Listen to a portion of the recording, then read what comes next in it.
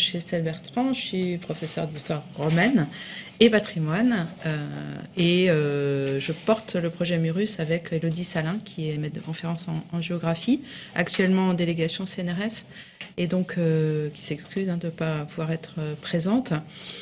Euh, voilà, alors je, vous aurez noté en fait euh, dès, l'entrée en matière euh, à la fois la pluridisciplinarité de ce programme de recherche, ce qui fait qu'on est invité aussi à, présenter ce, travail. Donc, euh, pluridisciplinarité, euh, là, vous avez euh, au moins deux disciplines hein, qui sont impliquées, l'histoire et la géographie, qui en fait confrontent leurs méthodes, les partagent pour un objectif commun hein, dont je vais vous parler. Et puis, on a aussi une dimension, donc on a à la fois des enseignants-chercheurs, et euh, des partenaires en fait de ce qu'on appelle la société civile. Euh, je ne sais pas si ça, on peut parler de société civile, hein, mais enfin disons des non des non universitaires. Et, euh, et, ce travail est donc mené conjointement avec ces, ces, partenaires, on va dire historiques hein, de, nos, de notre travail sur le patrimoine, c'est-à-dire la ville du Mans et en l'occurrence Franck Mio, même si tu n'étais pas tout seul, hein, puisqu'en fait on peut aussi compter sur Julie et Léo Cani. Voilà, on peut aussi compter sur euh, Julie Bouillet, qui est responsable du, des, collections. archéologiques euh, pour les musées du Mans, et Léo Cani, qui est architecte du patrimoine. Voilà. Et qui font aussi partie de, de notre équipe. Donc voilà, c'est déjà une première, euh, une première approche. Euh, et donc je vais euh, aujourd'hui, alors je vais prendre la parole pour commencer, et puis euh, l'idée c'est que les uns et les autres participent en fait à cette présentation selon bah, leur, leur ressenti, le travail accompli, la réflexion qu'on a pu mener ensemble. Donc le programme Murus, hein, c'est Murailles romaines à l'UNESCO et Société. Euh, c'est un programme qui euh, a été lauréate de l'appel à projet de la Maison des sciences de l'homme Ange Guépin, un appel à projet euh, fléché. Bah, comme vous le savez, je vais m'adresser hein, plutôt aux étudiants. Hein. comme vous le savez, on travaille en tant qu'enseignant-chercheur à la fois avec un financement qu'on appelle récurrent, mais qui est vraiment minime, et puis on est amené donc à, à construire des projets. Euh, pour une durée euh, plus ou moins longue. Hein, ça peut être deux ans, ça peut être trois ans. Et euh, on répond dans ce cas-là à des appels à projets qui sont émis en fait par nos tutelles, établissements, ministères, CNRS. Et, donc là, on avait un appel à projet de la Maison des sciences de l'homme Ange Guépin, hein, qui est donc à, Nantes, et qui est donc notre, notre structure, hein, disons, de, enfin, une des structures de recherche. Et euh, l'appel à projet était en jeux sociétaux. Et donc, on s'est aperçu qu'on pouvait, euh, on pouvait peut-être, euh, disons, apporter un certain nombre d'éclairages hein, sur ces enjeux sociétaux. Et je vais vous expliquer. Alors, bon, on va parler aujourd'hui donc de, de, la démarche de notre projet, mais je pense que c'est important aussi de vous retracer un peu l'histoire de ce projet pour comprendre en fait comment on en vient à réfléchir à la fois au patrimoine antique et à concevoir un projet un projet qui aujourd'hui en fait est clairement euh, euh, caractérisé comme un projet de science participative, c'est-à-dire euh, qui puisse intégrer un public. on va revenir sur cette notion de public, hein, mais disons dans la recherche fondamentale. Hein, d'accord? Donc l'idée en fait de la science participative, c'est vraiment d'interagir en fait avec la société dans le cadre de euh, nos travaux de recherche. Alors ça, c'est une dimension euh, plurielle, hein, on, va, y revenir, mais voilà l'enjeu du, projet. Avec, euh, comme vous le voyez, hein, une, nouvelle carte hein, qui illustre en fait notre programme, qui a été créé par Benoît Barbier pour nous, pour notre projet, avec désormais une charte graphique pour, euh, pour Murus, puisqu'on est en train de, concevoir le site internet. Et donc la charte graphique, hein, vous voyez, ça tourne autour du brique, puisque notre projet concerne euh, les enceintes romaines antiques et que la brique est un des matériaux euh, utilisés pour ces enceintes. Voilà. c'est aussi un projet, donc c'est un projet pluridisciplinaire avec une dimension sciences participative et c'est un projet aussi avec une dimension internationale, comparative. Hein. vous voyez sur cette carte trois enceintes qui figurent, donc Le Mans, Rome, Lugo avec deux enceintes qui sont déjà inscrites à l'UNESCO et euh, Le Mans, qui est notre cas d'étude en cours de, candidature. Donc je vais vous expliquer un petit peu comment on en est venu ces, euh, à ces trois cas d'étude. Je vais passer peut-être un peu rapidement sur euh, le contexte scientifique des recherches, mais notre programme s'inscrit en fait dans un, dans un contexte scientifique extrêmement euh, dynamique, c'est-à-dire qu'on la recherche en sciences participatives, elle vient absolument pas de nulle part, hein, elle vient vraiment euh, d'un contexte qui a été favorable et qui remonte, je dirais, au moins, mais sans doute bien avant, hein, parce que la candidature non plus n'est pas sortie de nulle part, mais en tout cas, on peut dater de, de, la candidature, enfin de la démarche de candidature à l'UNESCO entreprise par la ville du Mans, 2015 oui, mais 2015, c'était euh, une autre approche. Voilà. enfin bon, on, a commencé à entendre parler d'UNESCO à partir mm. de 2015, même si le projet finalement s'est recentré. Et dans ce contexte-là, euh, a été créé donc euh, un comité d'experts. Je parle évidemment sous ton contrôle, hein, mais mm. pour faire un peu vite, un comité d'experts à la fois d'historiens, d'archéologues et de géographes pour accompagner en fait la, rédaction en du dossier de candidature.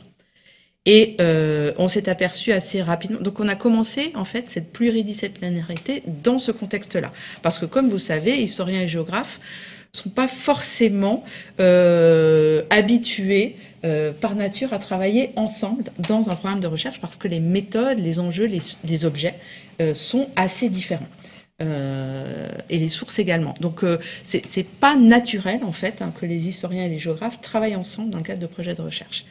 Et là, on a travaillé ensemble hein, dans, ce, dans ce programme, dans ce comité d'experts, et on s'est aperçu qu'on avait euh, une, complémentarité tout à fait intéressante.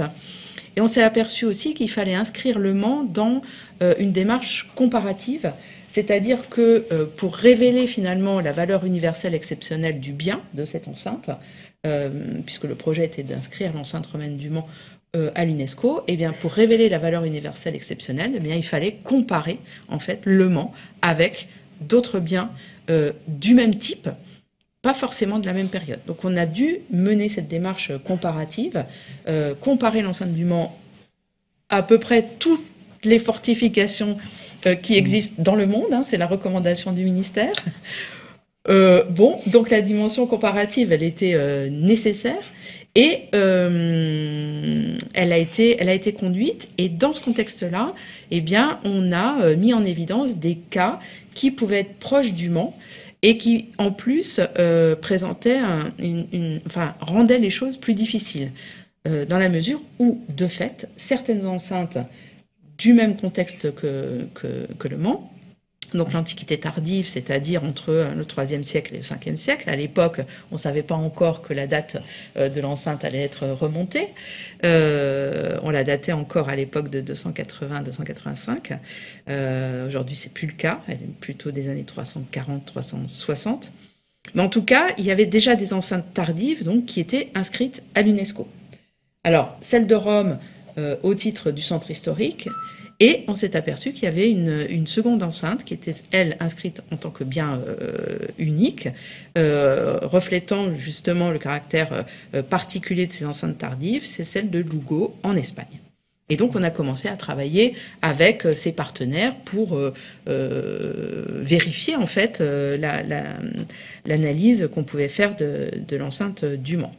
Et puis, dans le même contexte, eh bien, euh, de nouveaux travaux de recherche ont été, euh, ont, été menés, et notamment Le Mans a connu, vous êtes trop jeune hein, pour le savoir, mais Le Mans a connu depuis les années 2000 et surtout ouais, 2000 et 2010, ça s'est intensifié, une rénovation urbaine extrêmement importante, notamment avec le tram. Oui.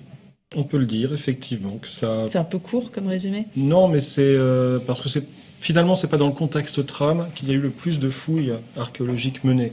Je dirais que le contexte tram est presque accessoire pour l'ensemble des sondages archéologiques et des fouilles qui ont été menées dans, dans, le centre-ville. C'est plutôt des projets euh, qui sont connexes, comme les réaménagements de, places qui, sont, qui étaient à proximité du tram. Je pense en particulier à la place du jet d'eau, Euh, on a eu également le projet de scène nationale. le projet de scène nationale a permis aussi de fouiller tout un espace qui, se, trouve au niveau des quinconces des Jacobins. Mm. Donc là, ce sont les, grands points forts. Et puis après, toute une série de, sondages ou de fouilles préalables à des aménagements toujours en, cours dans leur définition, c'est le jardin de la cathédrale mm. notamment, mm. et d'autres euh, sondages qui sont liés à des réaménagements de places. Euh, je pense notamment à la place Saint-Pierre et à la place du Hallet. Donc tout ce contexte extra et intramuros permettent de mieux percevoir aussi l'environnement antique euh, de la ville. Hmm.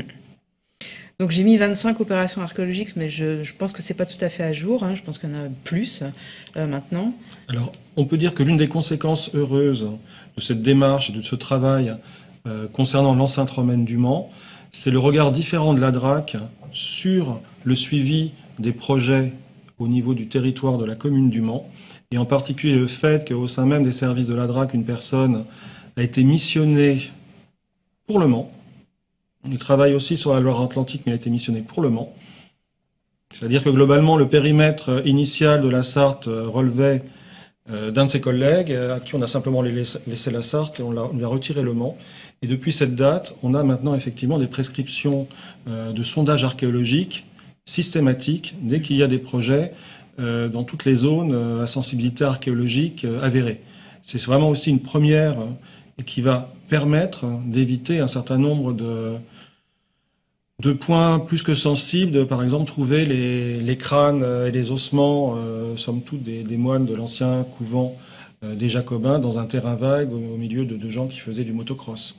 Donc euh, voilà, ça c'est aussi c'est des points importants, c'est-à-dire qu'il y a eu un regard différent euh, de la DRAC sur le territoire du Mans et le fait qu'ils ont fait de facto le constat qu'il n'y avait certainement pas le suivi nécessaire sur, sur notre territoire, d'où le fait que quelqu'un s'est vu confier le secteur du Mans et euh, ce qu'Estelle a, évoqué à l'instant, plus de, on doit au moins une trentaine de sondages archéologiques maintenant. Il y a vraiment une approche vraiment, je veux dire, systématique hmm. euh, par rapport à ces dossiers. Alors évidemment, toutes ces opérations ne concernent pas euh, l'enceinte romaine, vous imaginez bien, euh, d'autant qu'on ne la fouille pas vraiment, hein, euh, on ne fouille pas vraiment le mur. En revanche, il y a eu quand même de belles découvertes, et notamment ce que vous voyez là, ce que j'ai entouré, c'est-à-dire la, redécouverte en tout cas de la tour Saint-Michel. Hein, avec euh, qui est maintenant euh, couverte, protégée, etc., et en cours de, restauration, puisqu'en fait la couverture actuelle, hein, euh, fort heureusement, ne va pas durer, hein, on va dire. je ne sais pas si vous l'avez vu. elle est plus intéressante quand même que les, toiles qui la protégeaient jusque-là. Voilà, elle est quand même, voilà, on peut admirer quand même le mur dans toute son authenticité, et en tout cas en l'occurrence une tour. Mais enfin bon, toujours est-il que ça fait partie des, voyez, des, vraiment des, nouvelles découvertes euh, qui sont euh, tout à fait euh, dynamisantes en fait pour un projet de, recherche. Et puis il y avait en parallèle également un, projet, disons, interétablissement qui s'appelait Amicae, et dans le cadre duquel on a commencé un petit peu à travailler, c'est-à-dire à, faire des missions, notamment à Lugo et euh, à faire des, premières interventions pour euh, euh, diffuser nos, premiers travaux de, recherche. Bon. Ce que je peux peut-être juste aussi préciser, c'est que dans tout ce mouvement, il y a aussi pour la ville un programme maintenant annuel de dévégétalisation de l'enceinte. Mm. Précédemment, c'était quelque chose de ponctuel. Donc là, on est aussi dans une démarche qui, qui s'inscrit dans cet intérêt pour l'enceinte et qui fait aussi bouger les, les centres d'intérêt et la reconnaissance d'un suivi dans l'entretien euh, de l'enceinte et dans l'aménagement de ses abords. Hmm. Ce qui ne va pas sans euh, questionnement, hein, parce que dévégétaliser un mur, euh, ça a l'air d'aller de soi. Et ça va pas de soi, parce que ça, voilà, il faut des techniques et il faut évidemment pas que ça dégrade plus que la végétation elle-même. Donc, ce sont effectivement des entreprises qui sont retenues sur la base de leur expérience de restauration et de suivi de monuments classés. Donc ça, c'est vraiment à chaque fois quelque chose de suivi étroitement et en conseil avec la DRAC et le service régional euh, de l'archéologie. Je précise que l'enceinte, mais vous en souvenez sûrement, hein, on l'a déjà dit, est inscrite, euh, est classée monument historique depuis 1862, ce qui euh, implique effectivement le regard de la DRAC. Oui. Même si hélas, la DRAC n'existait pas dans les années 1870. Non. oui, enfin bon. Voilà, c'est-à-dire le percement du tunnel, Exactement. je suppose. Bien, alors, ça c'est le contexte, disons, proprement local de l'enceinte romaine du Mans dont vous entendez parler depuis votre plus jeune âge, euh, en tout cas depuis que vous suivez euh, les cours euh, ici au Mans. Sachez toutefois que la recherche sur l'enceinte romaine du Mans n'est pas une recherche d'histoire locale. Elle s'inscrit véritablement dans un courant scientifique de recherche qui concerne d'une manière plus globale les fortifications tardives, mais pas seulement avec à la fois, donc je vous ai mis là euh, quelques, quelques ouvrages, euh, qui vous montrent en fait les directions euh, dans lesquelles aujourd'hui les travaux se, se, déroulent.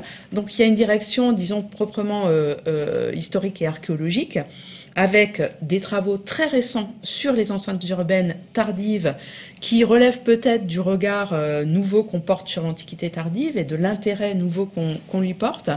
Euh, à la fois sur les fortifications, sur l'architecture, une archéologie urbaine qui prend davantage en compte euh, les niveaux archéologiques de l'Antiquité tardive et donc qui permet d'avancer.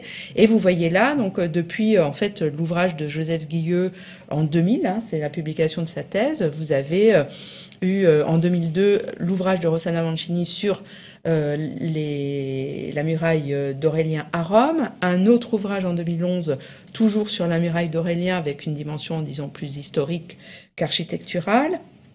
Et puis, à partir de 2015, un programme de recherche euh, avec des colloques euh, annuels euh, portés par les universités de, Rome, la Sapienza, et de Roma et de Tor Vergata, avec des publications donc qui essaient de retracer en fait l'histoire de cette enceinte depuis la construction jusqu'à nos jours. Et le programme est toujours en cours. Et puis cet ouvrage City Walls in Late Antiquity de 2020, donc il vous montre hein, que c'est vraiment un sujet d'actualité, y compris pour euh, les historiens. Et donc, euh, enfin, historiens, architectes, archéologues, pardon. Et, donc, l'enceinte romaine du Mans, contrairement à ce que vous pouvez imaginer, hein, c'est en fait un sujet euh, d'actualité, mais vraiment scientifiquement au sens le plus large du terme.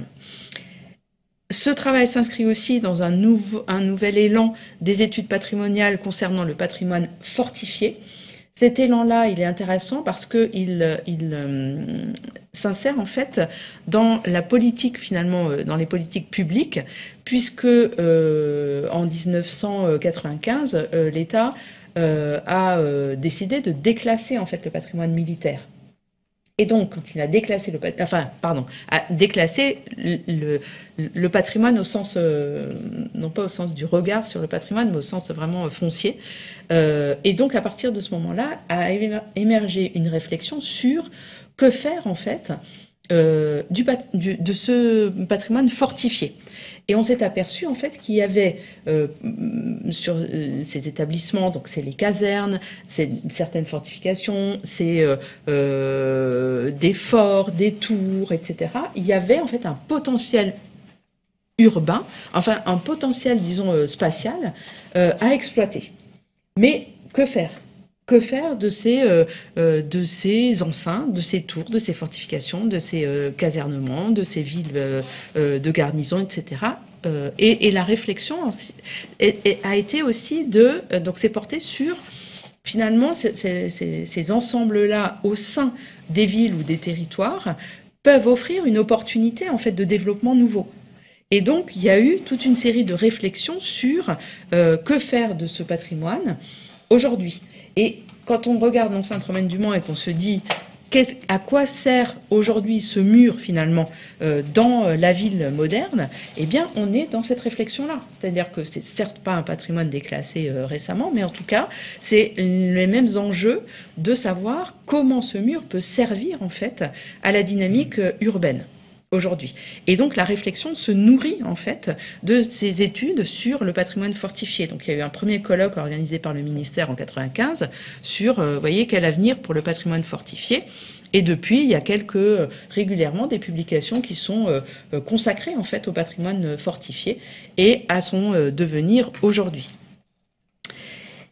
Évidemment, la recherche Murus s'inscrit en fait au croisement hein, de ces différentes euh, euh, réflexions. Et puis, un troisième enjeu vient nourrir notre réflexion. Il s'agit de la question de l'élargissement euh, patrimonial. Donc ça, c'est des choses que vous connaissez évidemment.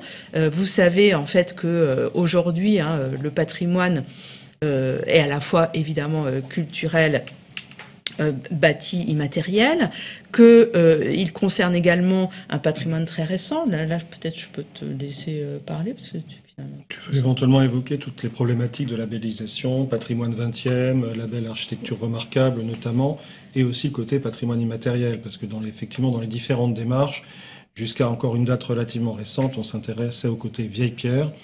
Et depuis, on peut dire, le symbole de cette vision plus large du patrimoine, c'est Jack Lang et euh, effectivement la prise en compte de ce spectre très très large euh, du patrimoine, et y compris sous des aspects qui jusqu'à présent, y compris le patrimoine industriel, c'est aussi le cas en partie pour le patrimoine militaire quand il était euh, postérieur aller à la Renaissance globalement, parce que mm. même les, fortifications napoléoniennes et au-delà intéressaient beaucoup moins, voire pas du tout.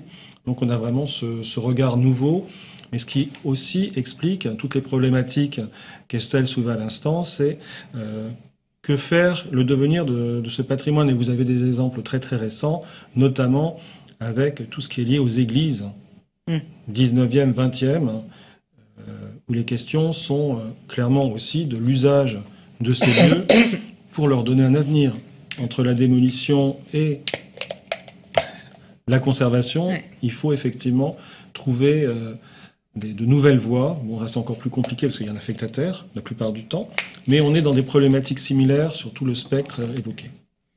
Et, euh, et oui, euh, si je voulais faire le lien avec évidemment l'exposition Faubourg que vous avez vue, et, le colloque auquel vous avez assisté, puisque désormais, euh, on, s'intéresse aussi euh, à, ce patrimoine très récent, à la fois immatériel, hein, puisqu'on recueille les témoignages, mais aussi matériel, euh, des bars HLM qui deviennent du patrimoine. On n'aurait pas imaginé ça il y a 20 ans. Hein. Donc effectivement, on est dans un élargissement en fait temporel hein, du patrimoine. On est aussi dans un, élargissement spatial, puisque désormais ben ça, c'est pas désormais, mais enfin, c'est de plus en plus. Hein, C'est-à-dire qu'en fait, on n'est plus, euh, effectivement, on considère plus la vieille pierre ou le monument, le bâti, mais son périmètre, hein, c'est-à-dire euh, son, son, son, sa limite de 500 mètres, et puis au-delà, hein, tous les, mmh. bon, c'est des choses que je maîtrise un petit peu moins, mais disons tous les secteur sauvegardé, ancien. Aujourd'hui, euh, ça change tout le temps de nom. Oui, mais euh, voilà, ça s'accélère en fait le changement. Mais en tout cas, voilà, on est dans une dimension spatialisée du bien. C'est-à-dire que, euh, et c'est important pour nous parce qu'on va s'intéresser à l'enceinte romaine, non pas le mur lui-même, mais ses abords, vous allez voir, on va y revenir, hein, c'est finalement le mur et ses abords qui sont euh, objets en fait de la recherche et de la patrimonialisation. C'est-à-dire que euh, c'est parce que le mur a des abords qu'il peut euh, être euh, un, élément de dynamisation en fait de l'espace urbain ou de valorisation de l'espace urbain ou du cadre de vie des habitants. Donc euh, cette notion de d'élargissement au périmètre est extrêmement importante pour la recherche sur les, les, fortifications. Et puis dernière chose, évidemment, la notion de bien en série qui est apparue à l'UNESCO et qui fait que on peut classer un bien unique mais on peut aussi obtenir l'inscription de certains biens parce que chacun des biens euh, représente en fait une singularité d'un bien. C'est-à-dire que euh, les, les, enfin, tu peux me dire mieux que moi peut-être? Pour les biens en série. De toute façon, le, principe, c'est qu'effectivement, par le biais d'une série, euh, ça permet d'avoir une vision globale d'un même type de bien, alors que ces biens-là pris individuellement ne vont pas avoir vraiment toutes les caractéristiques telles qu'on peut l'attendre. Et là, on a vraiment une vision très très large, ce qui explique aussi pourquoi, euh, au niveau des biens en série, euh, ce ne sont pas tous les biens d'une même typologie qui vont être tenus, mais quelques dizaines, euh, voire moins.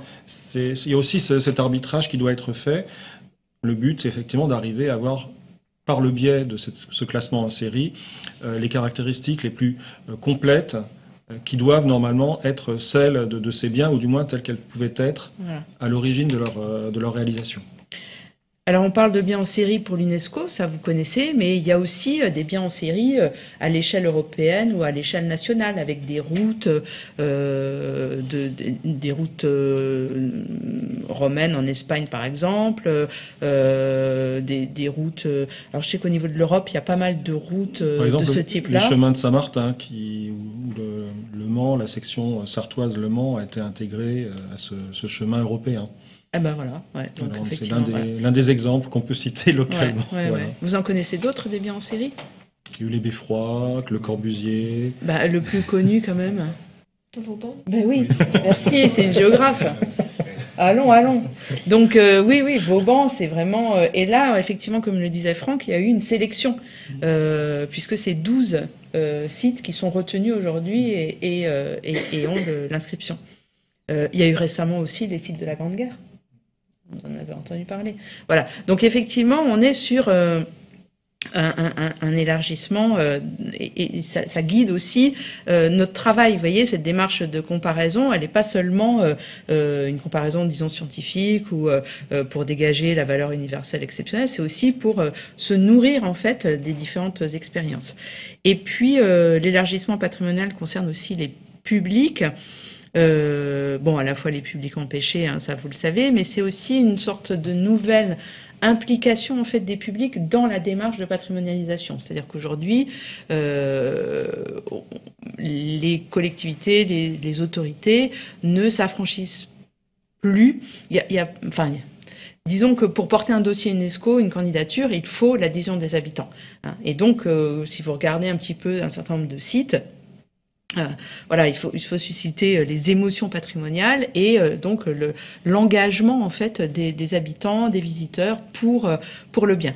Bon, donc là aussi, il y a une dimension, disons, participative qui est nouvelle dans la démarche euh, de patrimonialisation euh, pour obtenir les labels, pour les faire vivre aussi. Et c'est ce que je vais, euh, ce que je vais vous montrer. Voilà. Donc voilà le contexte. Hein. Vous voyez que, on, bon, évidemment, vous êtes au Mans et on vous parle de l'enceinte romaine du Mans depuis longtemps, mais c'est important en fait de, montrer en fait sur quel outils en fait euh, conceptuels euh, on s'appuie et, quel est le contexte qui fait émerger en fait ce type de, réflexion.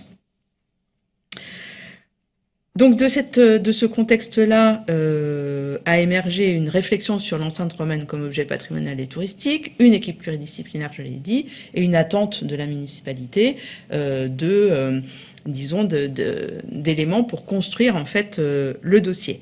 Donc il y a eu un premier projet, je passe très très rapidement dessus, qui a duré deux ans, qui était un petit projet tremplin, euh, mais qui avait l'avantage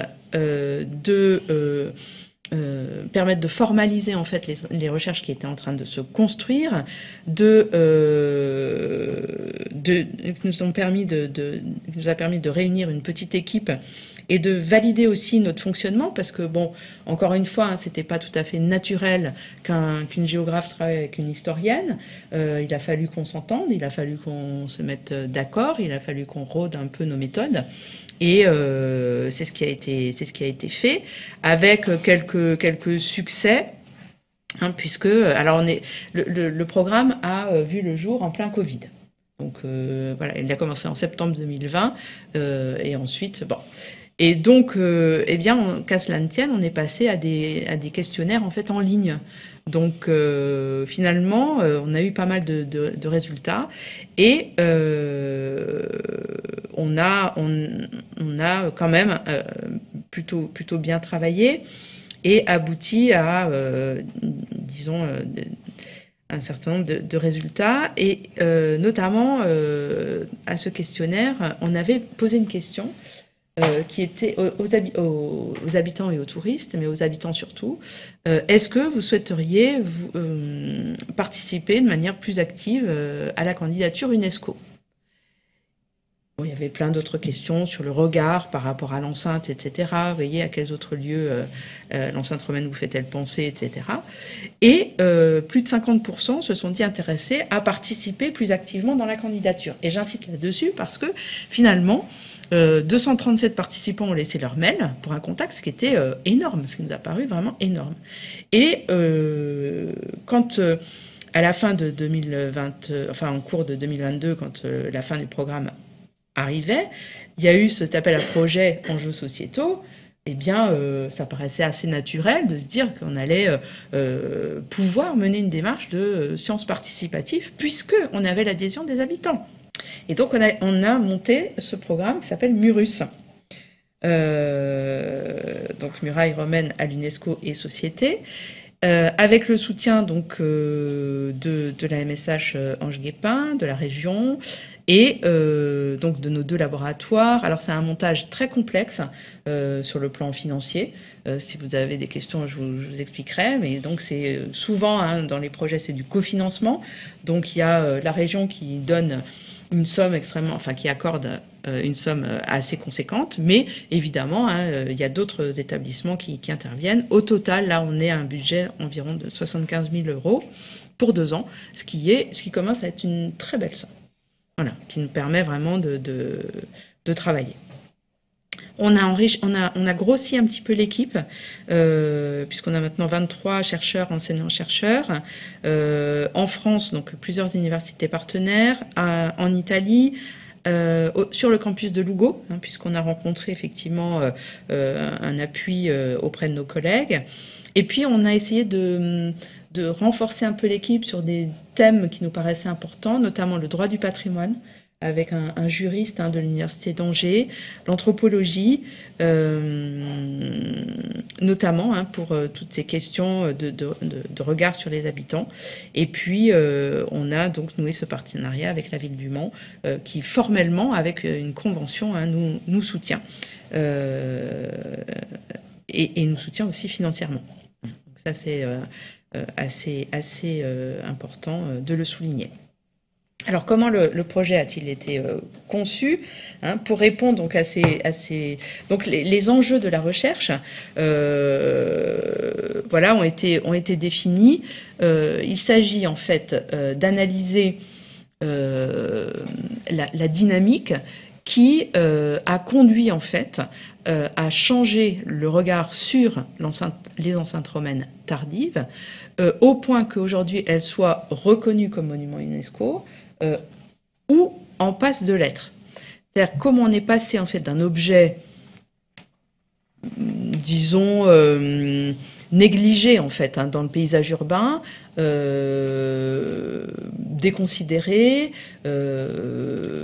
posant toute une série de problèmes et assez lourd à gérer, à un élément phare en fait aujourd'hui euh, de l'identité urbaine et des projets en fait de valorisation du patrimoine. Donc ça c'est vraiment notre euh, enjeu, euh, essayer de comprendre en fait quelle est la dynamique qui a conduit à ce processus, quels sont aussi les freins qui ont empêché par moment ce processus ou qui l'empêchent encore aujourd'hui? C'est-à-dire, est-ce que, et ça, la confrontation est extrêmement importante parce que, est-ce que c'est une généralité? Est-ce que finalement, toutes les enceintes romaines tardives aujourd'hui sont véritablement devenues un enjeu patrimonial fort? Ou est-ce qu'il n'y a pas des... Euh, euh, des euh, est-ce que les contextes sont différents? Est-ce qu'il y a encore des enceintes à sauver? Bon. Euh, et donc, on a structuré en fait ces, enjeux euh, en différentes tâches, hein, parce que euh, voilà, il faut, il faut, euh, on peut pas tout faire en même temps. Et puis, donc, il y a une, disons, une tâche qui concerne l'analyse de l'appropriation et de la réception des enceintes romaines du Mans, avec, disons, et, et pour chaque tâche, on croise en fait les méthodes d'historiens, de géographes, d'anthropologues et de, et, de juristes. Bref, on croise les disciplines pour euh, aboutir en fait à, nos, à des résultats. Donc euh, voilà la tâche 1. la méthode, c'est la recherche en, archives. Un, une des nouveautés de notre projet aussi, c'était euh, de collecter des photographies privées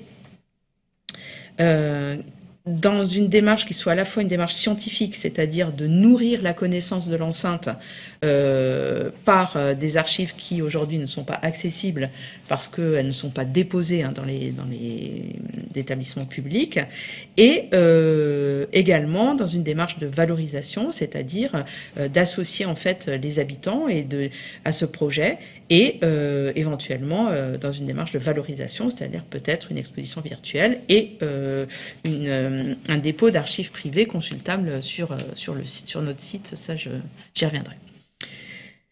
Et donc les livrables, donc tous les projets sont structurés de la même façon, donc il y a des livrables, c'est-à-dire des résultats en fait hein, euh, auxquels on est euh, euh, tenu, ou en tout cas qui, vont concrétiser finalement toutes les démarches. Donc pour cette tâche 1, une frise chronologique en ligne, j'y reviendrai. En tout cas, je laisserai la parole à, Louis. Et une base de données iconographique participative, c'est-à-dire que la collecte d'archives privées, on souhaite la lancer pour ensuite en fait la rendre pérenne, c'est-à-dire euh, créer un espace de dépôt où les gens pourraient, dans le temps, euh, déposer euh, leurs archives privées. On a souhaité également concevoir des ateliers participatifs hein, pour intégrer justement le regard habitant euh, j'y reviendrai. Avec euh, donc ça, ça s'invente pas. Hein, il faut une méthodologie. Donc on a, souhaité avoir une formation. Et puis euh, on, souhaiterait donc faire des, des, publications grand public. Donc éventuellement avec le regard des habitants sur à la fois sur le passé mais aussi sur le futur de l'enceinte. réaliser une carte sensible et puis éventuellement voilà valoriser la manière dont les habitants se projettent dans l'avenir. Éventuellement aussi communiquer à la ville euh, pour euh, ben, co-construire peut-être le futur projet de valorisation de euh, l'enceinte. La tâche 3 a plutôt une dimension urbanistique, hein, donc essayer de voir comment finalement les documents d'urbanisme ont pu contribuer ou pas à la fabrique de ce patrimoine. Et puis euh, la tâche 4 est plus euh, centrée sur l'analyse comparative euh, avec Rome et Lugo. Et donc dans toutes ces tâches, on mène des entretiens avec les habitants, les associations, les institutions. On recherche en archives, on fait des analyses et puis on envisage évidemment des publications et un colloque final qui aura sans doute lieu au mois de juin. Alors je commence par euh, la tâche 4 pour euh, vous montrer un petit peu dans quel contexte on travaille et euh, quels sont nos principaux résultats. Donc, la tâche 4, c'est l'analyse comparative. Donc, on a fait plusieurs missions à Lugo et à Rome. Et notamment à Lugo, on a souhaité en fait aller observer le festival Ardé Lucus parce que à Lugo, euh, on s'est aperçu que euh, depuis l'inscription à l'UNESCO avait émergé en fait une sorte de, euh, avait émergé un festival de reconstitution historique, mais ce festival de reconstitution historique a ceci de particulier qu'il est porté exclusivement par les habitants fréquentés par les habitants qui eux-mêmes en fait se costument pour aller euh, euh, assister à ce festival. Autrement dit, en fait, pendant trois jours, quatre jours, la ville entière est investie par le festival. C'est-à-dire qu'il n'y a pas euh, le public qui vient classiquement, voyez, assister à des défilés, etc. Mais c'est vraiment la composante de ce festival, ce sont les habitants. Voilà, à la fois en tant que euh, festivalier, mais aussi en tant que public. Et, donc, euh, la ville vit en fait au rythme de euh, ce festival. Alors, je vous en ai mis quelques quelques illustrations. Évidemment la photo de, de, nous euh, sur place. Hein. donc euh, ici euh, Elodie Salin, Franck qui nous accompagnait cette année pour prendre contact, enfin pour, pour saisir en fait l'identité le, de ce festival. notre collègue de, Lugo, hein, Elena Frère, et puis en costume. Donc pas nous, on, on, ne sait pas costumer parce que ce n'est pas obligatoire pour pouvoir assister. Et on ne sait pas costumer, tenez-vous bien, parce qu'on ne trouve pas de costume en vente au moment du festival. Ça se prépare en amont. Euh, voilà. Euh, et, donc les costumés sont euh, la mère, la mairesse, et l'adjoint au maire. Donc la mairesse ne vient pas sans être costumée assister au festival. Donc elle était en romaine et son adjoint euh, en romain euh, également.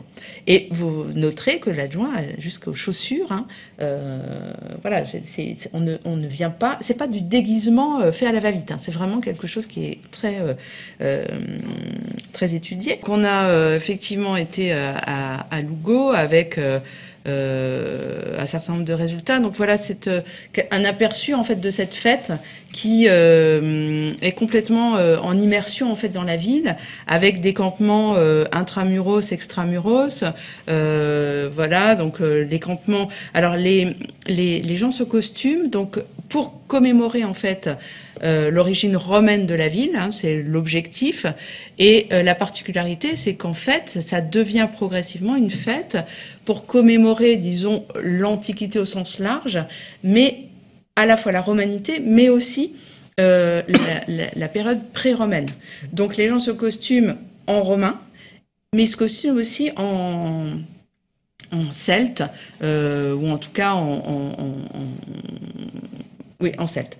Et donc, euh, euh, il y a un, enjeu aujourd'hui hein, qui est un petit peu, euh, qui dérive en fait vers un enjeu, disons, d'indépendantisme. Et selon, voilà, qu'on veut illustrer la résistance aux Romains, donc à, l'étranger, eh bien, on va se costumer plutôt en, celte. Et puis, sinon, on va se costumer en, romain. Donc, il y a, y a un peu tout. Euh. Donc les, campements sont à la fois dans la ville et hors de la ville. On peut les visiter hein, pour euh, euh, aussi avoir des informations sur la vie quotidienne à la romaine. on visite aussi voilà des ateliers, etc. Et puis il y a des défilés réguliers dans la ville donc des associations. Il y a 19 associations qui euh, portent ce festival et euh, qui défilent.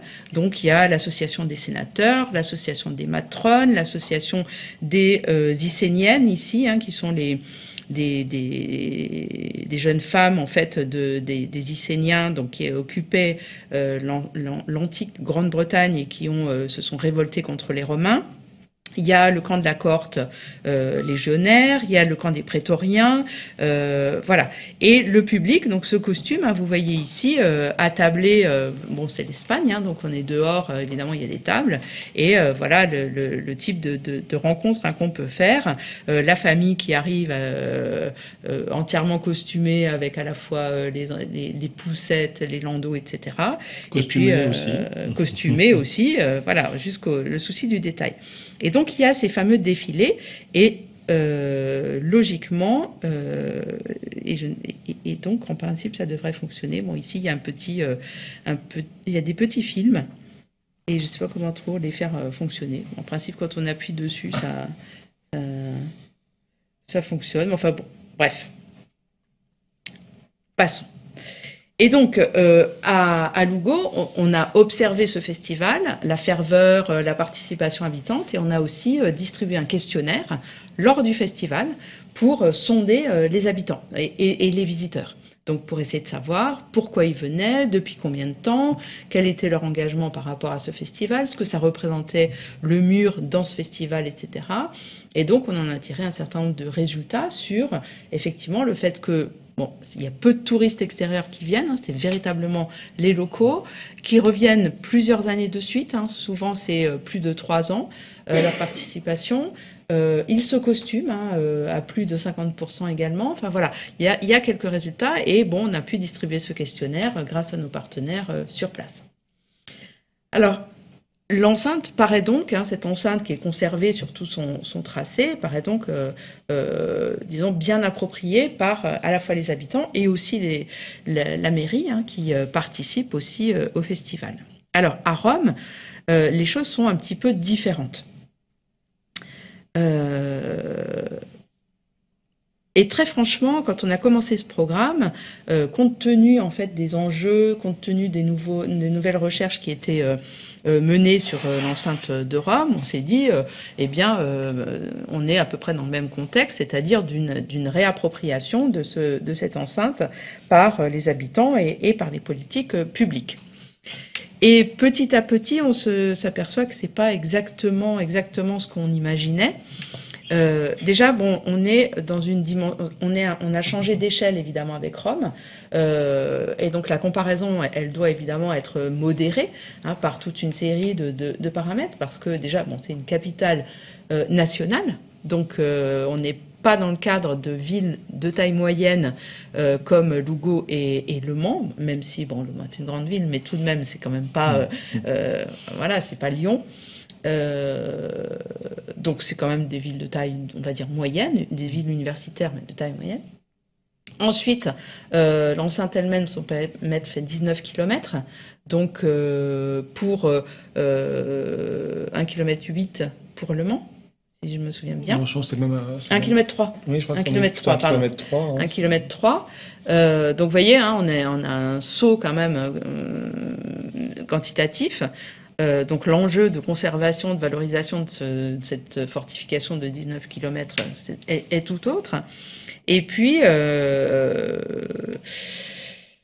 et puis, euh, bon, elle, est inscrite dans un contexte en fait institutionnel qui est assez, assez complexe. Alors, le, le mur à Rome est de toutes les façons donc fait partie en fait du périmètre UNESCO. Il en constitue la limite du centre historique. Donc à ce titre-là, il fait bien partie en fait du bien UNESCO. Mais ceux qui sont déjà allés à Rome le savent, euh, le mur est complètement hors des circuits touristiques. Donc là, c'est pour ça que je vous ai mis une carte. Alors tout, est un peu petit malheureusement, mais euh, en fait le, le- le cœur historique est ici. Vous voyez, le Colisée est ici, l'enceinte est ici, d'accord? Euh, le Colisée ici, la gare euh, centrale, euh, la Piazza Venezia, le Champ de Mars ici avec le Panthéon, voilà, donc c'est ici, c'est concentré. Et ici, vous avez le Vatican. Avec, certes, une enceinte qui est dessinée, mais c'est une enceinte, en fait, qui médiévale, hein, puisque elle a enserré, en fait, le Vatican. Donc, l'enceinte romaine hein, est ici, ici, vous voyez, donc c'est assez loin. Les termes de Caracalla, le cirque Maxime est là, les termes de Caracalla sont là. Donc, déjà, quand on va aux termes de Caracalla, c'est, euh, ça nous paraît assez loin et hors, finalement, du centre euh, historique. Voilà. Et donc, le mur est encore un peu plus loin. hein, voilà, vous vous situez. Voilà, donc euh, il est ici. Donc la problématique de, de ce- de, de l'enceinte à Rome, c'est euh, le fait qu'elle soit hors euh, de, la est hors de la vue des touristes. Et en ce qui concerne les habitants, c'est un repère, hein, puisque effectivement c'est une limite que l'on franchit hein, quand on, rentre dans le centre-ville. C'est un repère et c'est une limite euh, palpable, puisqu'en fait à l'intérieur, quand on passe intramuros, on est soumis à une réglementation de circulation. Donc euh, forcément, tout le monde sait que quand on, passe, euh, enfin voilà, à quoi sert le, mur. Bon. Alors, la ville est euh, propriétaire de ce mur, alors que les autres monuments historiques de Rome sont nationaux. Bon, sauf que à la, libération, à la réunification de Rome en 1870-71, quand euh, l'État a voulu s'occuper de ce mur, il s'est vite aperçu que c'était ingérable et euh, la propriété est revenue en fait à, la ville. Donc là aussi c'est un statut un petit peu particulier. Donc c'est absolument gigantesque, mais euh, c'est la ville qui, qui le gère.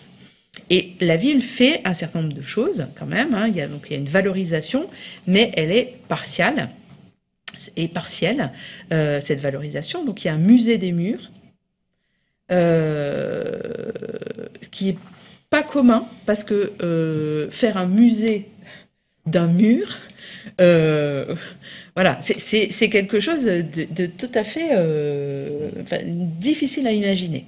Donc on a eu un entretien, on a eu la chance d'avoir un entretien avec la, responsable de ce musée qui nous a dit que ben, faire un musée de murs, il n'y a pas d'objet.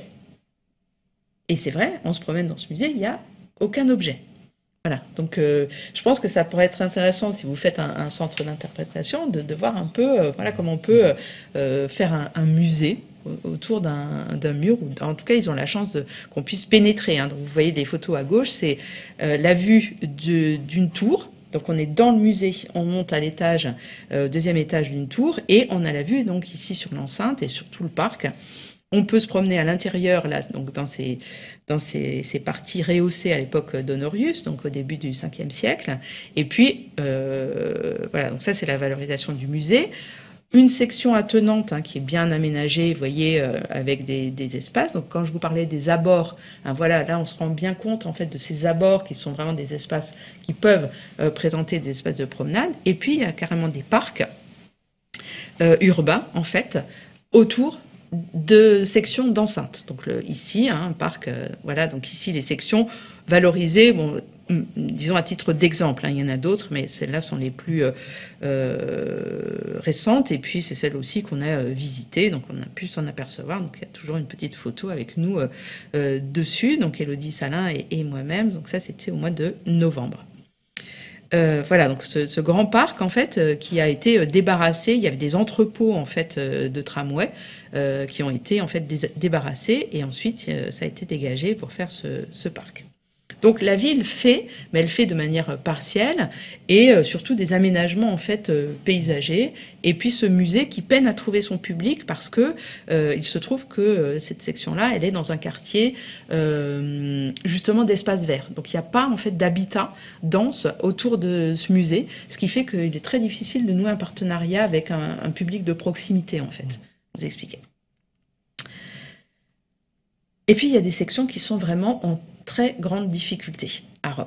Euh, donc, euh, eh bien, la première difficulté, c'est euh, le problème de stationnement parce que euh, intramuros non, mais extramuros le long des murs, ben, il y a des quartiers d'habitation et donc il y a euh, euh des places de stationnement. C'est extrêmement difficile en fait de, de les dégager. Il y a des, des, sections qui sont soumises aux aléas climatiques, à la dégradation. Donc il y a des sections sous cette forme-là avec des échafaudages, des tags, etc. bon, en attendant mieux, ça fait penser à la tour du Vivier, à la tour du Vivier dans les années 60. Hein. Mmh. Elle est resté 20 euh, ans avec ses échafaudages. 47, 65. Oui, et puis en tout cas, comme un terrain vague euh, transformé en parking, que ce soit au pied de la tour du Vivier ou même pendant très très longtemps au pied de la tour Madeleine. Euh, voilà.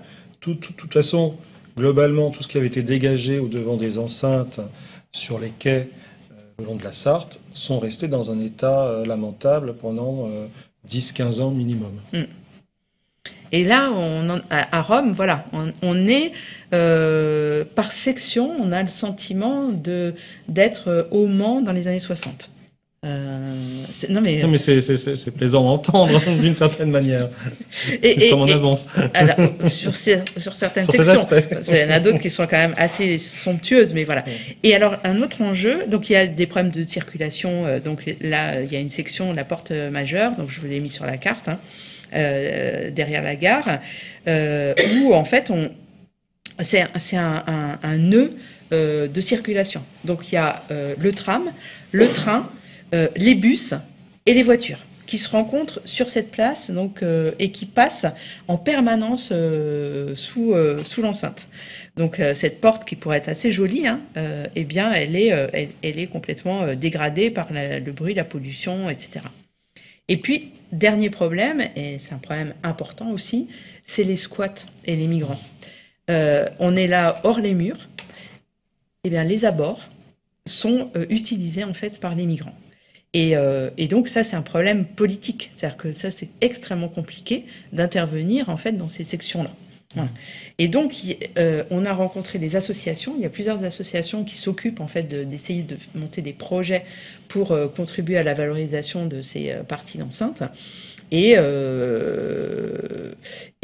leur travail, notamment une, est vraiment de travailler avec la mairie pour trouver des solutions pour ces squats de migrants euh, à la fois pour qu'ils soient pris en charge et puis euh, voilà qu'il y ait des solutions disons sociales euh, pour et économiques pour que voilà. Donc c'est la valorisation du mur là elle passe vraiment par un, choix politique, économique, social, et on n'est on n'est pas du tout en fait dans, vous voyez, à, à, à, Lugo et au Mans, on était dans un festival, on était dans la valorisation, la restauration, et là on est dans quelque chose qui nous a vraiment surpris parce que euh, vraiment, euh, c'est une autre dimension, c'est vraiment d'autres enjeux. Et donc, euh, dans ce contexte-là, interviennent des associations qu'on a rencontrées également, donc l'association Comitato Mura Latine, et puis l'autre association Comitato delle Mura Oreniane. Et il y a d'autres associations plutôt pour euh, le, verdissement, etc. Mais celles-là sont les deux qui ont vraiment le nom de mur en fait dans leur, euh, dans leur statut. Et elles interviennent donc sur euh, certaines sections, avec l'accord évidemment des autorités qui gèrent le mur, pour essayer en fait de, d'entretenir les abords et aussi de faire prendre conscience aux habitants que le mur est un élément, disons, qui peut améliorer leur cadre de vie quotidien. Et donc, elles organisent euh, l'entretien, les aménagements paysagers, euh, un festival. Voilà. Donc, euh, oui, c'est un peu plus de, photos que ce que je vous avais envoyé. donc, donc, les aménagements paysagers avec des bancs pour pouvoir effectivement profiter en fait de ces abords. les abords sont d'ailleurs entretenus par les membres de l'association eux-mêmes. Euh, chaque, semaine, un festival euh, de plein air euh, de cinéma avec projection grand écran alors pas tout à fait sur le mur, mais en tout cas il y a un écran devant le mur, mais ça permet quand même de se rendre compte, en fait, de profiter de cet écran géant. Aménagement paysager ici avec en fait plantation de lavande pour symboliser en fait un ancien cours d'eau qui passait en fait sous, sous l'enceinte qui se trouve ici. Euh, la plantation d'arbres aussi, hein, toujours dans un esprit euh, de végétalisation. Et puis ici, sur une section qui est aujourd'hui fermée, euh, des ruches qui sont aménagées et qui, voilà, qui, contribuent en fait à, comment dire, à faire des espaces, des abords, des espaces de vie et qui contribuent à améliorer la qualité de, l'air finalement et la qualité de vie en ville. Donc ce sont des initiatives effectivement là aussi un peu ponctuelles, mais euh, qui reposent évidemment sur le bénévolat, sur l'engagement de euh, de ces associations, mais c'est tout à fait intéressant. Et euh, il y a aussi des visites guidées. Euh, L'association a édité un, un, un guide euh, qui, en fait, depuis euh, la promenade le long des murs, permet de prendre conscience euh, du patrimoine urbain. Donc, le mur est une sorte de trame, de squelette pour profiter en fait de la vie en ville et améliorer la qualité de vie en ville.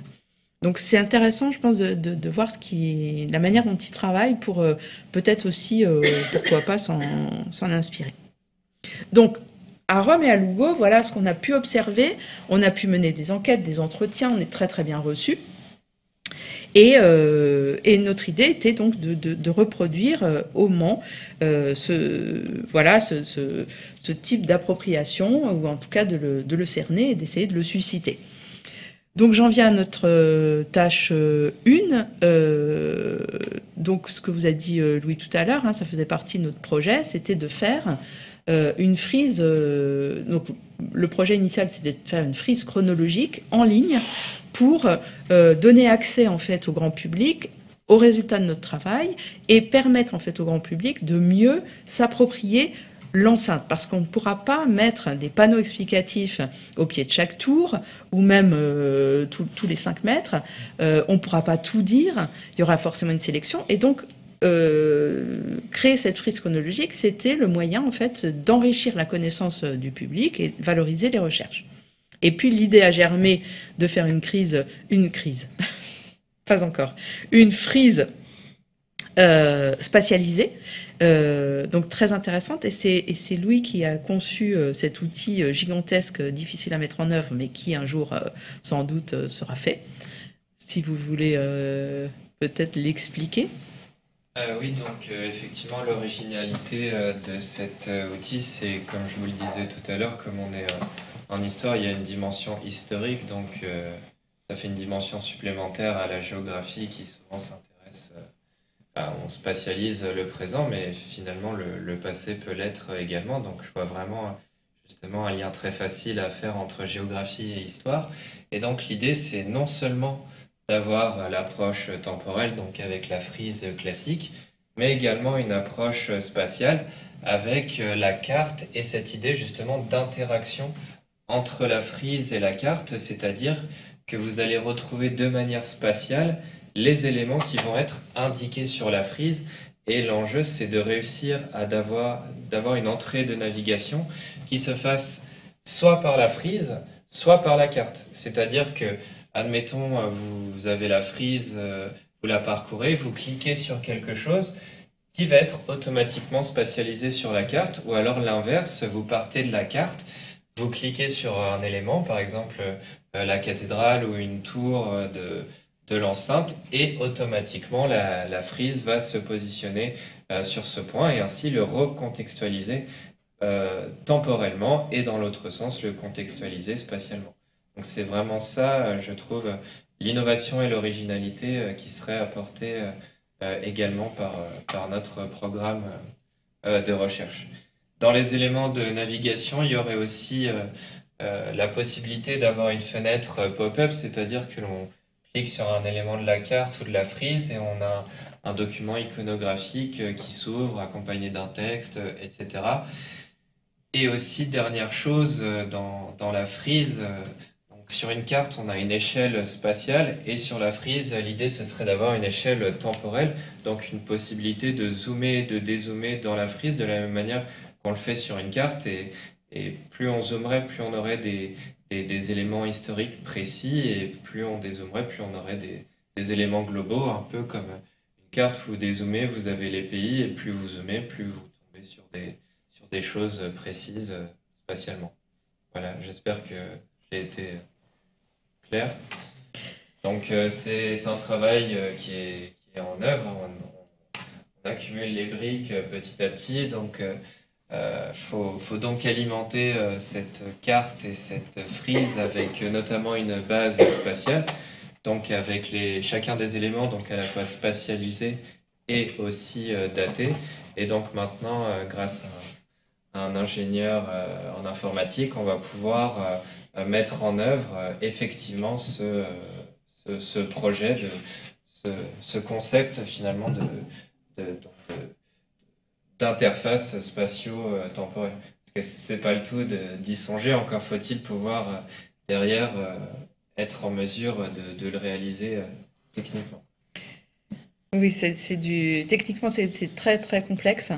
Euh, parce qu'il faut vraiment, enfin c'est une très très grosse base de données avec des interactions euh, croisées extrêmement complexes. Alors moi, je, pour moi, enfin pour moi, c'est vraiment un projet euh, absolument euh, superbe, euh, presque une utopie en fait. Vous voyez, on a envie que ça fonctionne comme ça. Voilà, on a envie de mettre la souris et que ça apparaisse quoi. Mais en fait, derrière, il faut connecter des informations, des illustrations, des des, des cartes, différentes échelles de cartes. Enfin bon, donc c'est voilà, c'était une espèce de gros gros écheveau en fait de, de, de, de laine qu'il faut tout connecter. Et euh, il faut être en fait informaticien vraiment pour le faire. Euh, Totalement. C'est vrai qu'il est vrai de, de, mettre en œuvre chacune des choses isolées, la frise d'un côté, la carte de l'autre et la fenêtre pop-up. Mais là, l'enjeu, c'est de réussir justement à, à connecter, à, à interconnecter euh, tous ces éléments et qui est cette interactivité. Et pour le coup, en fait, on n'a pas de, de briques euh, informatiques qui existent déjà, donc on est obligé de, de coder la manière dont cet outil euh, euh, fonctionnerait. Donc en, en, se basant, cela dit, sur des pièces existantes, euh, par exemple pour la carte, mais par exemple pour la frise, on n'a pas vraiment à l'heure actuelle d'outils interactifs. Hein. On navigue tous sur Internet quasiment quotidiennement, on ne trouve pas ce, ce genre d'objet numérique. Donc c'est aussi en cela que le, le, projet scientifique apporterait quelque chose de nouveau avec vraiment une innovation euh, numérique. Et puis, ce qui, me plaît beaucoup, c'est justement l'interaction entre géographie et, histoire, de réussir à spatialiser euh, des, éléments euh, historiques qui me semblent tout à fait pertinents dans, dans l'approche historique. Et on retrouve effectivement là enfin la pluridisciplinarité plus exactement, avec effectivement une, euh, enfin, la dimension historique, c'est vraiment moi mon approche, et la dimension spatiale qui est vraiment euh, euh, ici ajoute, vraiment de la valeur au projet dans la mesure où vous avez compris notre objet d'étude est un objet d'étude qu'il faut spatialiser. C'est-à-dire que on n'a pas forcément cette démarche pour un château voyez Parce que, euh, bon, on, peut, ou pour un, pour un immeuble, on peut, on peut l'embrasser du regard et on, voilà, on, s'y retrouve. Tandis qu'une une fortification, il faut aussi euh, eh bien intégrer son parcours et puis euh, euh, voilà identifier les tours etc et c'est d'autant plus vrai que quand on a fait les ateliers on avait une carte et on souhaitait que les habitants positionnent en fait leurs souvenirs sur une carte eh bien c'est pas si simple. Parce que c'était où déjà c'est quel endroit comment ça s'appelle j'ai photographié tel tour mais c'est laquelle tour enfin vous voyez. Il y a un problème aussi de spatialisation du souvenir et ça se en fait en tout cas la, dimension spatiale, elle est, euh, elle est tout aussi importante que la dimension historique dans, ce projet-là et dans l'appropriation que les habitants peuvent en faire. Et donc, il y a, vous voyez, euh, et j'en je, je, je, viens à la dimension, disons, citoyenne et participative, il y a un onglet dans notre base de données euh, archives citoyennes, parce que l'idée serait aussi d'intégrer les archives citoyennes dans, cette, dans cette frise chronologique.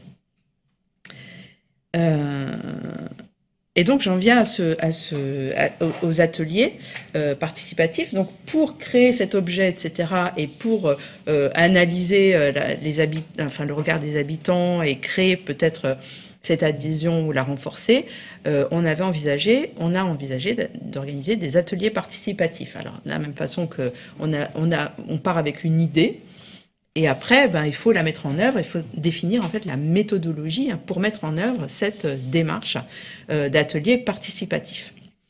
Euh, donc essayer de, construire euh, l'appropriation, la gouvernance du bien euh, UNESCO.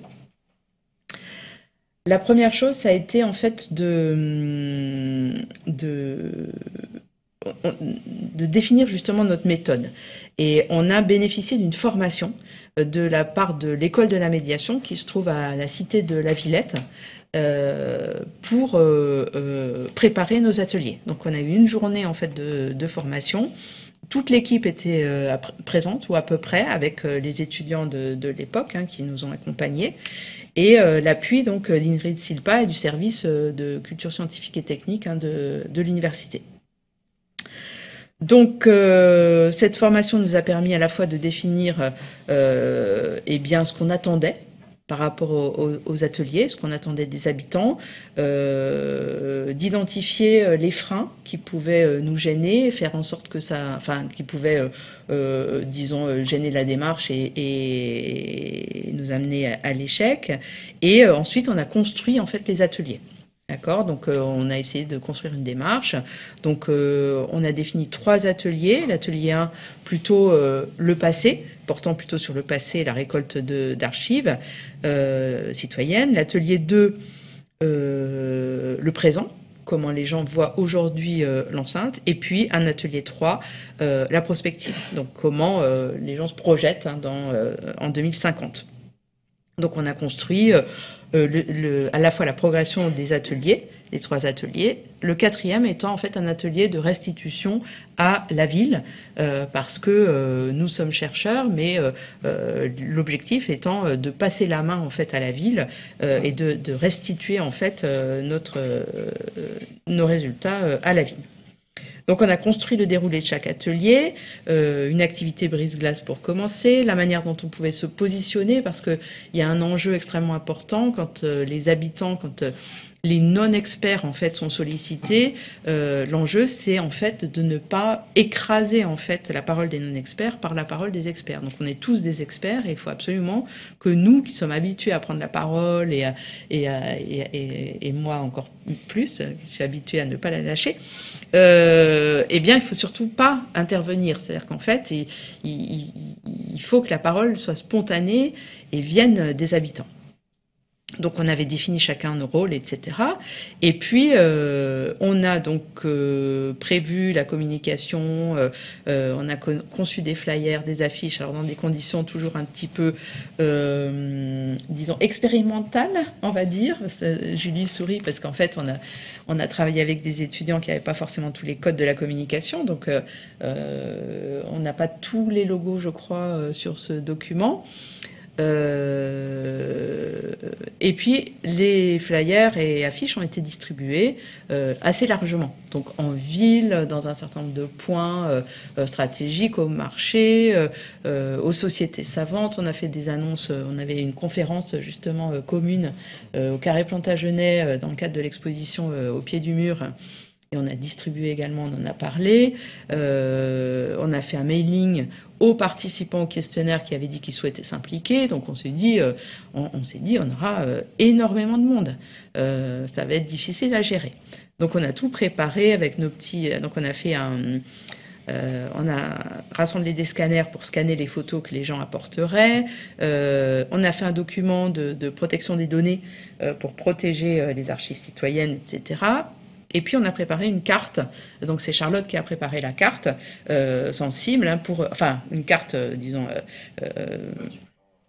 le plan de l'enceinte et de la ville, pour que les gens puissent positionner en fait leurs souvenirs sur cette carte. Bon, tout était prêt. Et voici ce que ça donne. Donc, euh, euh, le premier atelier a eu lieu euh, le 11 avril. Et je vais vous dire mon ressenti, et après je vais passer la parole à, à Louise, parce qu'elle a fait une analyse, disons, plus, plus approfondie de cet atelier, ou en tout cas, Franck, peut-être, tiens, tu pourrais dire ton, ressenti. Oui, je dirais mon ressenti. Après ou avant bah, Après. Donc, on, on, a tout préparé, on avait plusieurs tables, etc. Et des micros pour enregistrer.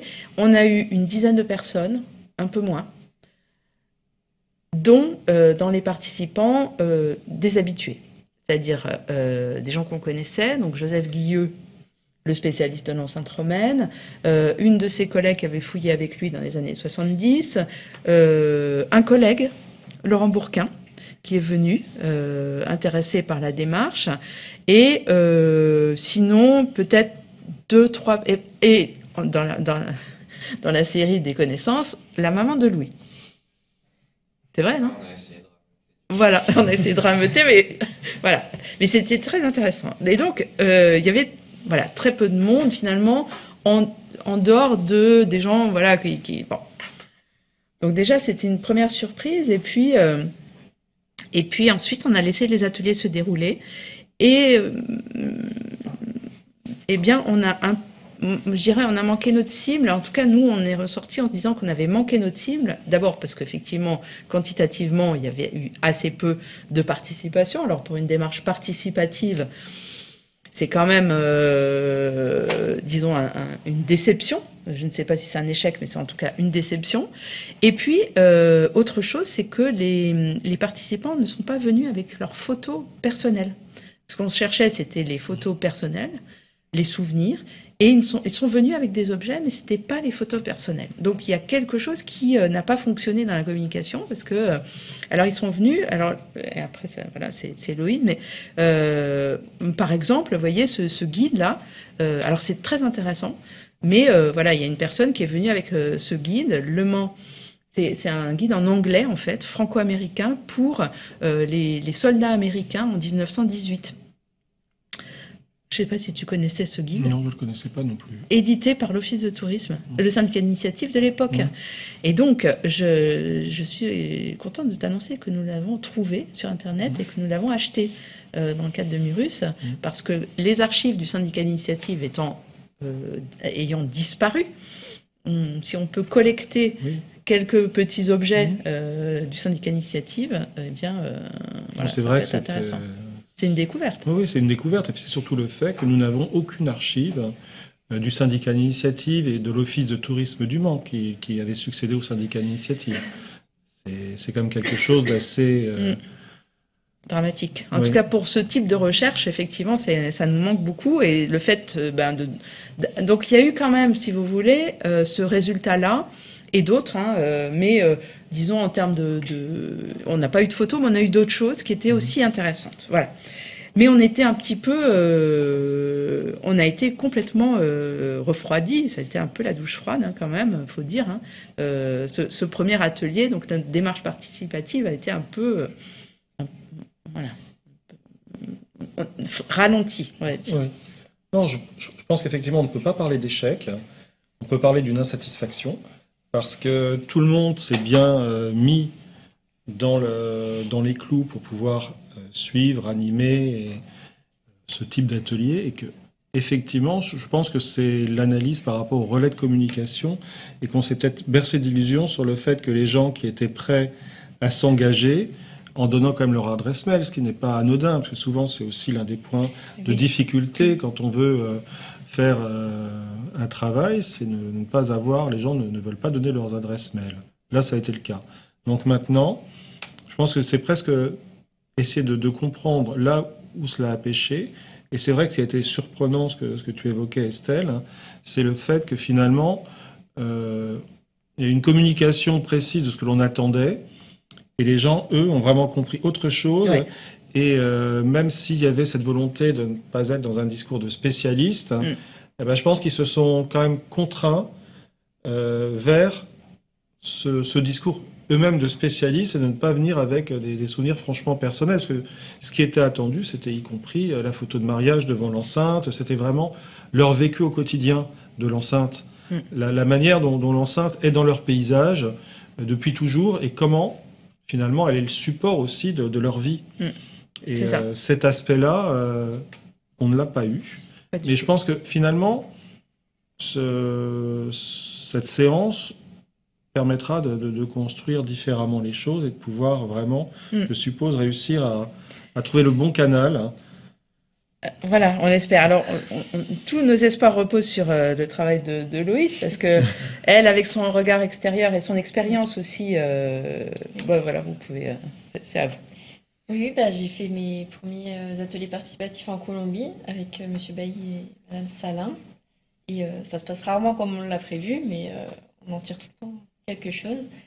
Et euh, Je- ouais, je- oui, ok. donc, comme vous ah, Ah oui, c'est- je reviens, oui. Allez-y, je, je vais revenir sur les vôtres. Comme vous l'avez dit, le plus gros problème, c'est celui de la communication, parce que les élèves n'étaient pas formés à faire des flyers et donc n'y avait pas les informations nécessaires à- pour euh, communiquer ce qu'on recherchait. Euh, sur le flyer, on voit pas, enfin, le programme Murus apparaît, mais comme il n'est pas connu, on- ça peut freiner les, les habitants à venir. Parce que On demande quand même des choses assez intimes, des photos de famille, des souvenirs, tout ça, ça peut freiner. Mm. Et euh, vous avais dit aussi. Et donc il y avait une, oui, une difficulté à saisir les enjeux de la collecte au niveau du flyer. Et donc comme vous l'avez dit, il y a beaucoup d'experts qui sont venus et pas des gens. bah, Non, enfin, pas normaux, mais. euh, Et même les gens normaux sont venus en imaginant que l'on a attendait finalement une démarche d'expert de leur part, parce qu'en venant avec, euh, y compris un, un guide Mm. euh, touristique euh, euh, à la. Libération et ainsi de suite, ils se sont eux-mêmes enfermés, contraints dans ce, ce rôle d'expert. Ouais. Et en tous les cas, ils ne voulaient pas apparaître comme des, des, des néophytes ou des non-connaisseurs C'est de l'enceinte. exactement ça. C'est euh, le problème. Et Oui, je pense qu'il faut retravailler sur euh, le flyer et mettre vraiment en avant nos attentes. Pour pas qu'ils pensent que euh, leurs photos sont insignifiantes ou, Ouais. ou banales. On peut rien en tirer. Mais, euh, Et aussi, c'est. Enfin, sur tout ce que j'ai lu sur les collectes d'archives, c'est plutôt sur des temps longs, pas forcément euh, sur le temps d'un atelier. Parce qu'il faut qu'il y ait la confiance qui s'installe. Ouais. Donc, euh, d'où l'intérêt de faire un site en ligne et un dépôt en ligne, Ouais. je pense. en Facebook. Non. Pour déposer des photos qui venaient à- Oui, oui, à oui, des chercheurs. Effectivement, ouais. Donc euh, ça, je pense, on a laissé effectivement retomber, donc on a essayé de, prendre du recul et puis de, euh, travailler sur euh, nos erreurs, mais finalement, une fois qu'on est dedans, on les voit pas forcément. Mais je pense qu'on est assez convaincu du fait que ça se fera pas en une fois, c'est-à-dire qu'il faut vraiment faire beaucoup, beaucoup de communication. Donc, euh, en parler. avec des, bah, des associations de confiance en qui les habitants ont déjà confiance. Voilà. Donc on, on a euh, donc vous avez dit beaucoup plus de choses quand même. Les, les, euh, les préconisations, ce serait quoi en fait? Ah oui, établir un lien de confiance, clarifier les attentes, ça c'est vrai que c'était peut-être pas Oui. assez, euh, assez net en fait. hein. Expliquer au public ce qu'on attendait d'eux, les rassurer, être plus clair, et puis s'appuyer effectivement sur, sur des relais, peut-être mmh. des intermédiaires. Et c'est vrai que moi, je peux éventuellement prendre un exemple récent en ce qui concerne le service par rapport au, travail qu'on nous demande de mener sur les quartiers et euh, la, valorisation, l'animation du patrimoine des quartiers. Finalement, la démarche, c'est de rentrer en contact avec, en l'occurrence pour les, quartiers, les conseils de quartier, et que le président du conseil de quartier et les membres de son, bureau euh, on puisse échanger, voire qu'ils invitent déjà dans, leur réseau les, des personnes qui leur semblent déjà intéressées par la démarche. Mm. Après, c'est rencontrer aussi, là toujours c'est particulier, c'est par rapport au quartier, mais les structures culturelles, euh, sociales du quartier, mm. qui eux aussi vont avoir les relais et qui permettent d'avoir ce, cette première approche et donc ce rapport de confiance. Et on a bien vu que, par exemple, que ce soit au Sablon, parce que c'est le premier, euh, premier vrai travail dans, cette optique-là, et on commence aussi à travailler vers le quartier d'Iseville, ça, change euh, la donne tout de suite. Alors, il y a aussi parfois euh, la compréhension de la démarche suivant le quartier auquel on appartient. Et entre Iseville et les Sablons, les choses passées, ne sont pas passées à la même vitesse. clairement, au Sablon, il y avait déjà un petit peu une observation pour savoir ce que l'on voulait, et ce n'était pas une nouvelle fois une démarche euh, où les, habitants, on n'est pas, on n'est pas aux eaux, mais il y avait euh, vraiment savoir quelles étaient les vraies attentes et s'ils pouvaient partir et établir un rapport de, confiance et d'échange. Ça a été très très vite établi, mais il a eu quand même ce temps d'observation et sont venus euh, des témoignages photos et autres qu'on n'attendait pas. C'est-à-dire que si je prends le cas des Sablons, vous aviez à l'emplacement du Gué Bernisson, qui se trouve à l'extrémité près de l'abbaye de l'Épau, qui est un petit bâtiment euh, qui moderne sans aucun intérêt. À cet emplacement existait un château au 18e, un petit château au 18e qui a survécu jusqu'au projet des Sablons. Et on avait, euh, il doit y avoir à la médiathèque euh, une ou deux photos, aux archives municipales, une ou deux photos de, ce petit château. Il y a quelqu'un qui est venu avec d'autres photos et y compris en capacité nous, de, de réussir peut-être à rassembler des témoignages écrits ou des documents liés aux anciens propriétaires. Donc il y a, finalement, on se rend compte que c'est euh, quand on arrive avec euh, notre image, eh c'est les gens ont peut-être tout de suite le regard, euh, ils anticipent ce qu'on devrait attendre d'eux et pas du tout ce mm. qu'on leur demande. Mm, Et je pense que c'est effectivement à ce, niveau-là qu'il faut qu'on puisse voir quels seraient les, les relais comme tu l'évoquais, mm. qui tout de suite permettrait bah, d'être dans la compréhension de nos attentes et puis dans un rapport de confiance et non de, de jugement, parce que finalement, euh, du fait de ce que les gens ont apporté, c'est qu'il y avait déjà une crainte de jugement. Et ils sont venus avec euh, finalement ce que, ce que eux estimaient, euh, bah, voilà, montrer qu'ils avaient un minimum d'intérêt pour l'enceinte. Et ils venaient pas avec les, les, souvenirs familiaux qu'on pouvait espérer. C'est ça.